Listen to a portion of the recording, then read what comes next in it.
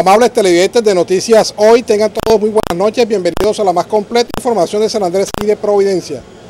La noticia política más importante del día tuvo que ver con la renuncia protocolaria presentada por el diputado Arlington Lijo Herrera a la honorable asamblea del departamento. Esto con el eh, propósito de convertirse en el corto plazo en candidato a la gobernación del departamento. Así lo anunció el diputado Arlington Howard. Manifestarles mi eh, renuncia ante la asamblea departamental eh, que estoy presentando en, la tarde de hoy. Eh, el propósito es, eh, debe uno conocer cuándo hay que iniciar nuevos rumbos, hay que iniciar nuevos ciclos en la vida. por, por eso hoy estoy presentando esta renuncia, ya que voy a iniciar un nuevo ciclo eh, lo cual tiene que ver con una nueva faceta dentro de mi preparación profesional, dentro de mi vida y dentro de mi servicio hacia la comunidad. El diputado explicó cuál es el propósito de renunciar a la Asamblea para aspirar a la gobernación del departamento.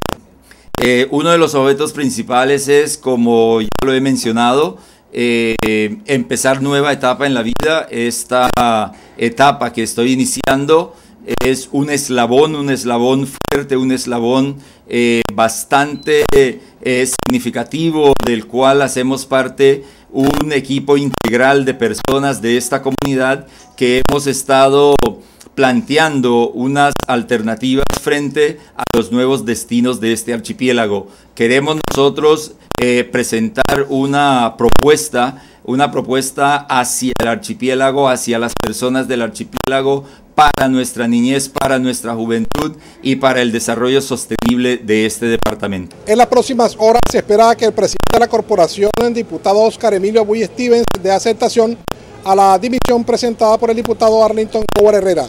Para Noticias Hoy les informó Félix Alberto Heredia Jiménez. Vamos a una pausa comercial y continuamos con más información aquí en Noticias Hoy.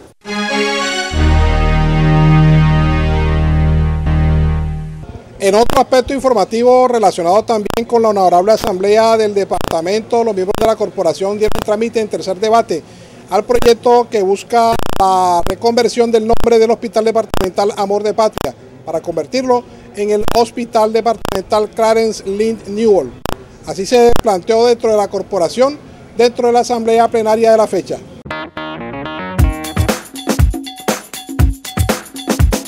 Un nuevo sitio de esparcimiento de las familias sanandresanas abrió sus puertas al público en el corazón de la isla. Segundo Muelle, Parrilla Bar, un restaurante con lo más selecto de la gastronomía nacional e internacional, con zona de rumba y un bar tropical abierto a las brisas marinas. Segundo Muelle, Parrilla Bar, hecho para sus reuniones empresariales y eventos especiales, matrimonios, bautizos, primeras comuniones o cumpleaños. Segundo Muelle, Parrilla Bar, buen punto de encuentro frente al Parque de la Barracuda sobre la avenida Francisco Newell. La mejor esquina de San Andrés, segundo muelle, Parrilla Va. Es un sitio que lo tiene todo.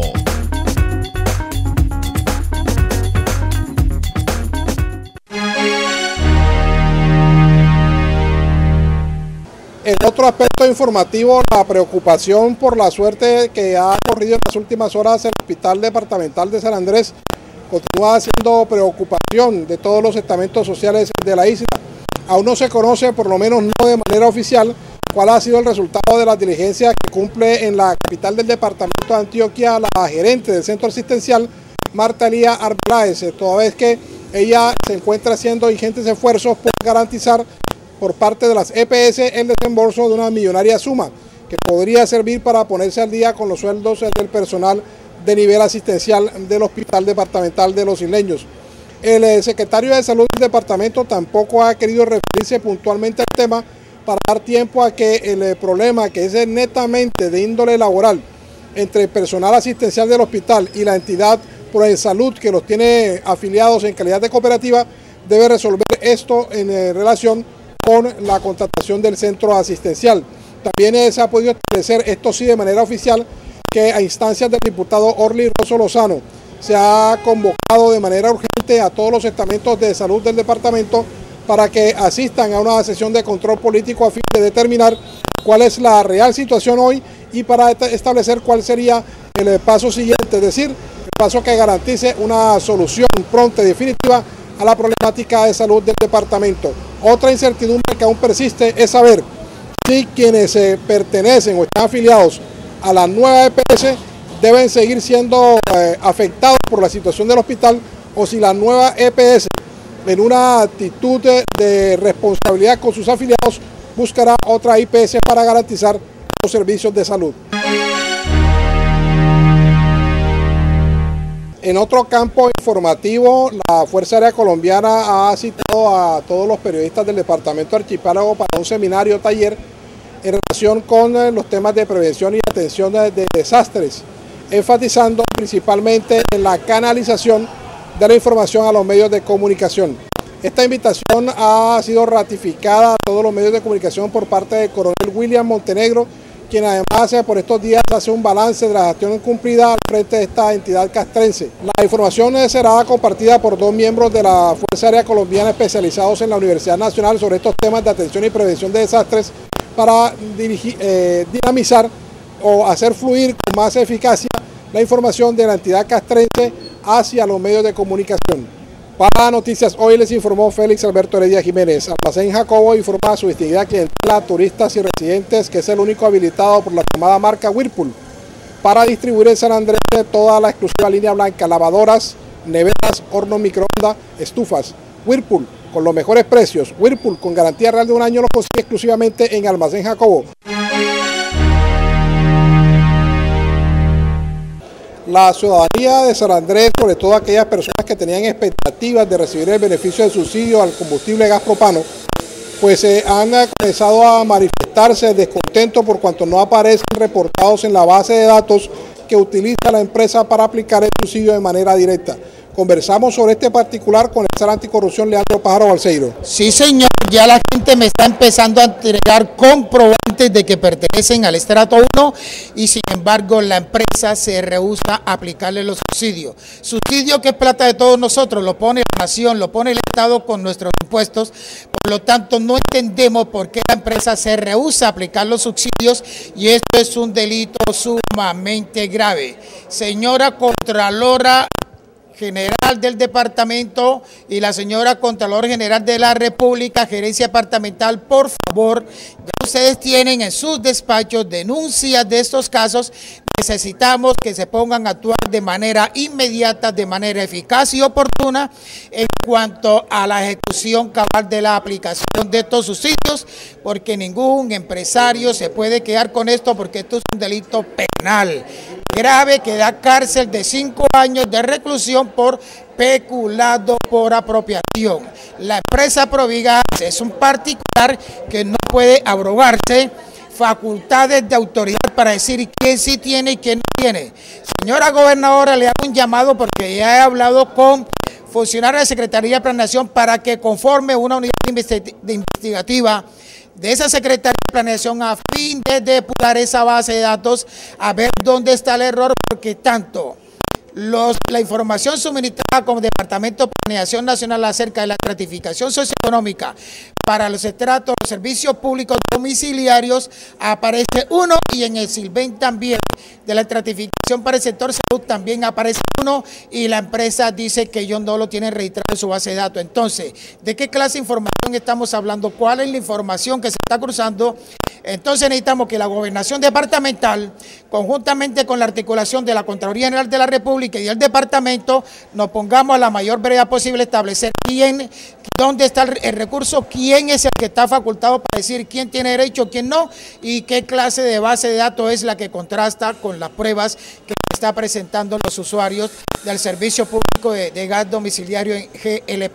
Entonces, por favor, la mayor brevedad posible porque esto no espera más dilaciones. Señora gobernadora y señores Contraloría General del Departamento de la República. Conservation of the Sea Flower Biosphere Reserve is a commitment of everybody, so respect and comply with the current closures in each period of the year. Turtle is closed throughout the year. The green iguana starts from January 1st to May 31st, the black crab from April 1st to July 31st, the prickle lobsters from April 1st to June 38th. It's also prohibited to capture sharks. Coralina, a possible archipelago. Soon. Sorry for party rocking. Yeah, bitch.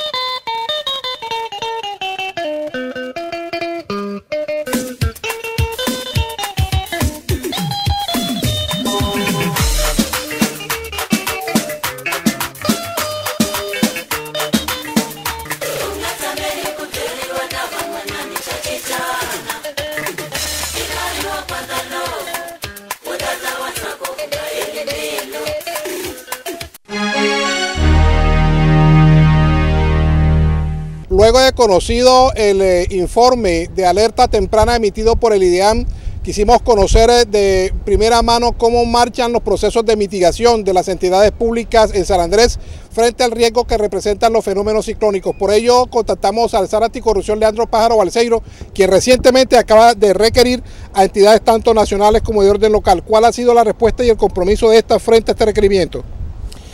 Félix, no recientemente, desde hace dos años, desde que sancionó el presidente Santos la ley 1523, vengo haciéndolo, pero efectivamente recientemente reinsistí, enfaticé en el requerimiento a las diferentes entidades del orden nacional asentadas en las islas, tanto como a las locales, que expliquen a ver, que informen qué han hecho acerca del cumplimiento de esta normatividad en cuanto a la gestión del riesgo, que han preparado, qué han hecho y he recibido unos informes eh, que se podrían decir escueto, porque es que en realidad en cuanto a lo que es el aseguramiento locativo de las instalaciones, tanto oficiales no han hecho absolutamente nada teniendo en cuenta de que no lo llegue Dios a permitir cuando en un evento de estos ciclónicos los centros operativos precisamente van a ser los entes nacionales como el aeropuerto, la gobernación, el CECIL, las fuerzas militares, el bombero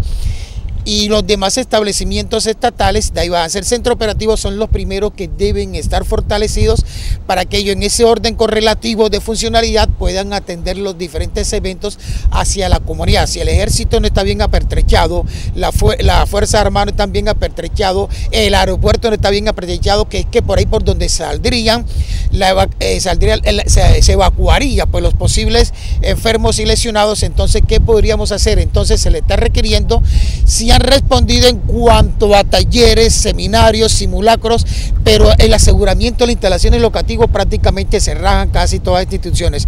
Entonces, ya que lo ha traído a colación nuevamente, ante la alerta que ha dado la idea, le recordamos a partir del primero de junio, pasado mañana, empieza, ya estamos en, en temporada de alto riesgo hasta el mes de noviembre, entonces le estamos requiriendo a través de este medio que por favor se apresten a tomar las medidas de prevención y mitigación de riesgo en aras de mitigar los efectos de cualquier evento eh, natural. Así que estamos en manos de ustedes y acuérdense de que es una obligación, tanto institucional como de la comunidad de la peduría ciudadana, el cumplimiento de esta norma de obligatorio cumplimiento que impartió el presidente Santos en el año en abril de 2012.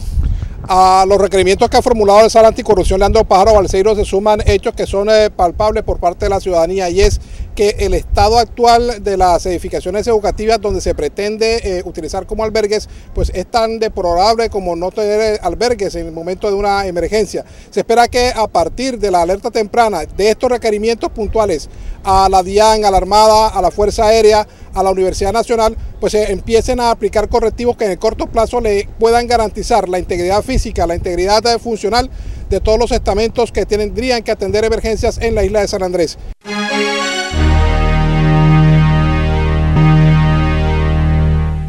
Con estas notas, amables televidentes, nosotros concluimos la tarea informativa por el día de hoy, como siempre, entregando nuestros agradecimientos especiales a la firma Almacén Los Dos y a su tradicional marca Alberto Veo 5. Alberto Veo 5, vista a los presentadores en Noticias Hoy. Muy buenas noches.